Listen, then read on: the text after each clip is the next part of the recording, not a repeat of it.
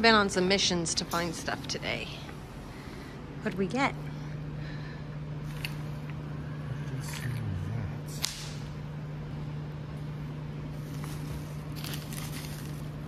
These are the diamonds we're supposed to have. Break-in diamond with this one. Okay. Give me a double shoe one for pistons. So, I can do pistons with that one. Okay, let's see that going on here. New shoe.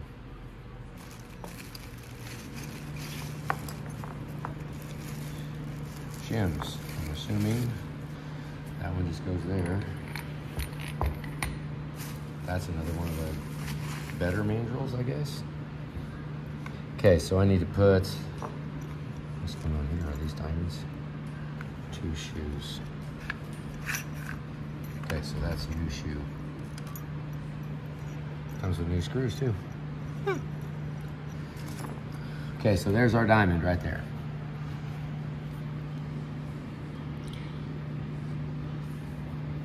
So, wow. Yeah, we did a number on that, didn't we? I guess we did. It's like almost gone and all chewed up. Hmm. Okay, so now I got to remember how to take this apart. Okay, you figure that out. I'm gonna clean up this mess over here. All right. And Cody's rods with the diamonds.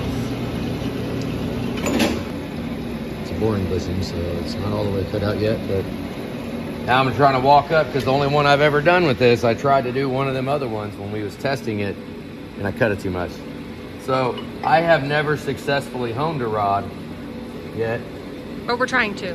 Hopefully I don't tear these diamonds up. Well, I hope they last. Ready? Okay, so I am turning this knob just a little bit and counting. So we're at turn 14 on that gauge to go to zero. We don't know how much actually gets cut out of these bushings to go to size because the gauge does not tell me how much more I have to go. It's only within a little bit. Yeah, so our spring tension's at three, roughly. And right now we're counting, if when it hits zero again, that'll be 14, 14 turns. It's the best way I know how to describe it. We got our diamonds. Scuffed up a little bit of it, getting the hang of it. I think uh, I, it, it won't be too bad. But it's very tiring. Makes my back hurt. I'm getting old. There's some undone. Right there. All dirty and sanded and tears. Some done ones. Feels pretty smooth too. It feels like we'll have pretty good oil retention in it. It's not not really rough. So we should be able to retain some oil. We got some holes in it too. Oh yeah, it's smooth. It might look rough, but it's smooth. Yeah, it's, I mean, we could probably, I don't know, maybe we could maybe entertain. That took a long, long time. That was a good long minute. Um, almost enough time to justify me doing a rougher grit on a different mandrel. I don't want to have to change the mandrel. I, I could pop it out and then have a sander close. Because when I was doing this, when I'm honing it, it does leave a burr on the outside.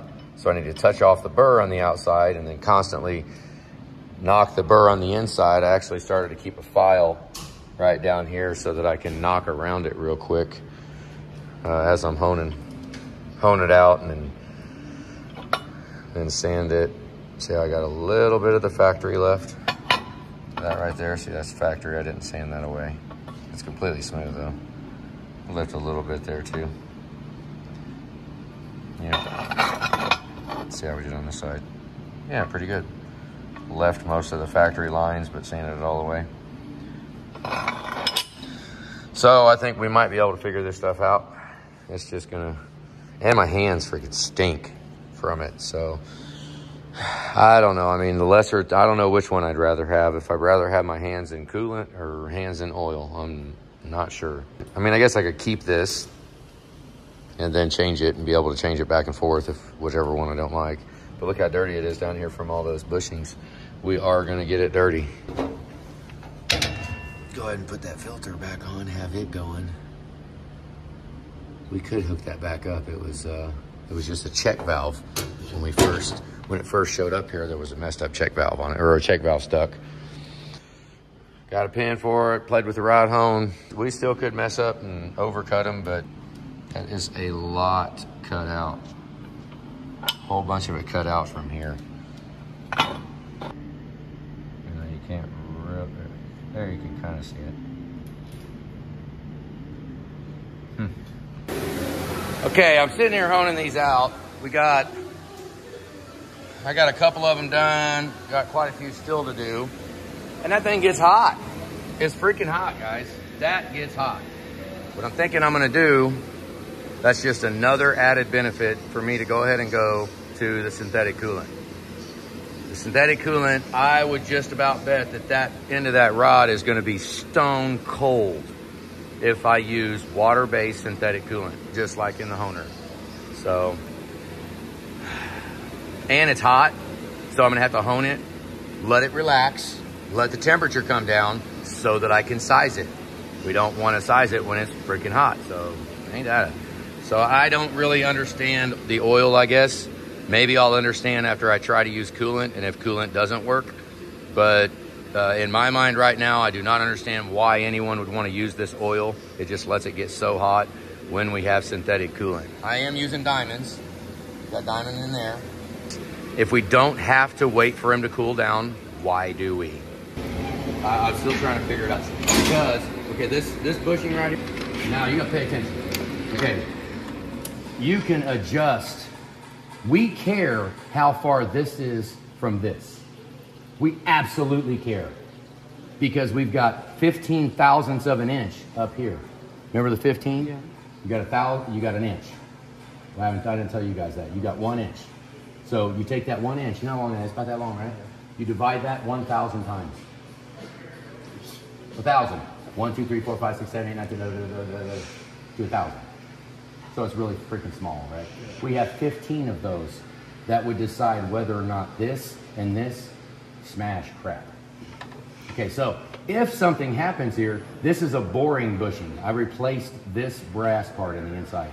If something was to happen to the rod and, and something, maybe it was machined or something's wrong, we can actually move where this pin is up or down and adjust those thousandths of an inch while just cutting where the circle goes. Like moving the circle four thousandths up and cutting it. Yeah, technology will let us do that. So we put a big enough bushing in here. That's why it's called a boring bushing. Because a boring bushing, you can move where this hole goes on the end. But it costs us all this time. Right? Because normally you would put this bushing in and you would chuck it in a different machine and you would hone this hole exactly where you want it and we would actually cut it. This is honing. This is just scraping across it, knocking crap off. That machine and that machine cuts. It has an actual cutter that will move that hole over here where we want it. With 50 cents. Put a little cup right here for donations to Yeah, get a better donation. machine. Donation. donation machine. Because we shouldn't have to hone it this long.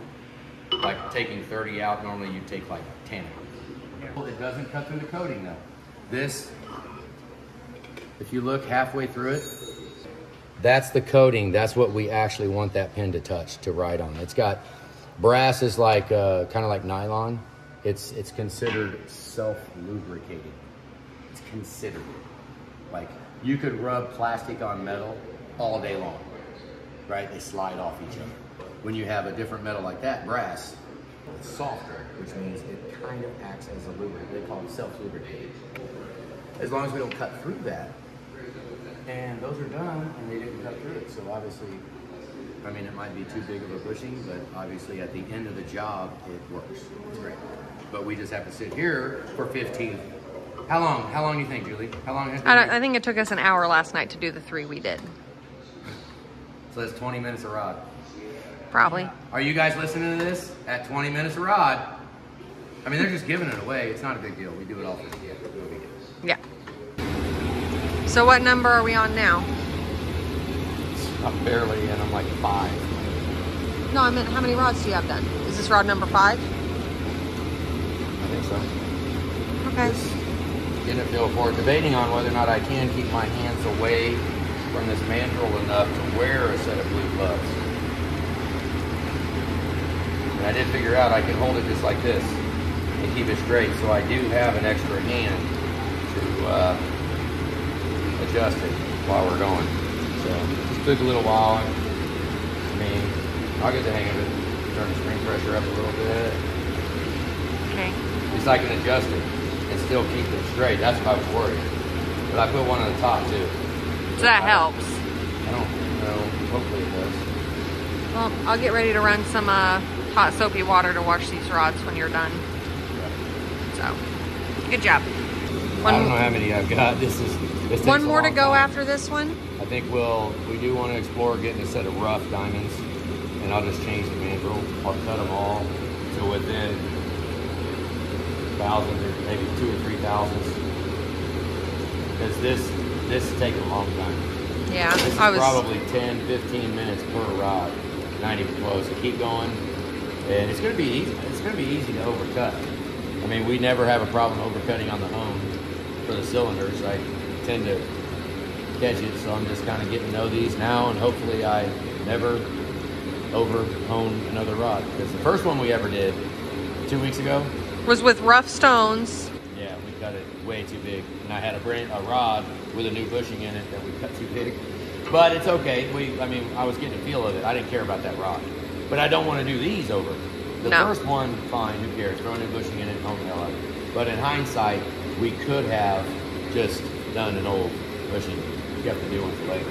Yeah. But like here, it's all hot. Keep a cup down there underneath it so it catches all of it. So I've got a little reservoir and I can dip that down in there. and kind of cool it off. And then when I file the edges, I can close this one and then open this one and I can file right here. I can file with a bunch of oil on it. And I can take this and go around and file it. But I'm not even ready yet. I still have to get it to size, so I'm not. I could file it right now and then it, it'd create even more burrs when I uh, uh, Did it some more? keep playing with how to set all this up.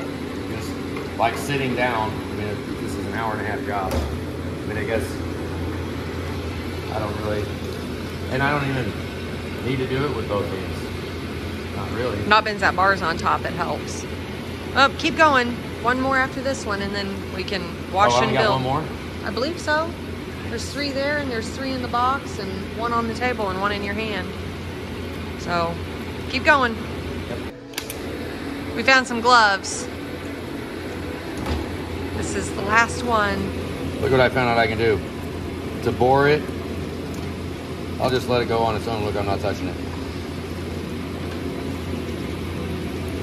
I don't care how the lines look now, I'm just removing material.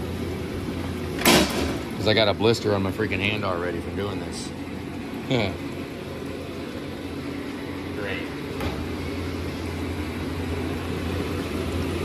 No.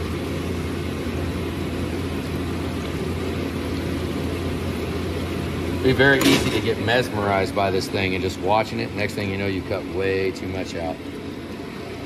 No, I'm still high. Barely ready. Still a little bit more to do. I'm cleaning up the other ones, and we'll have once this one's. one this afternoon. Yep.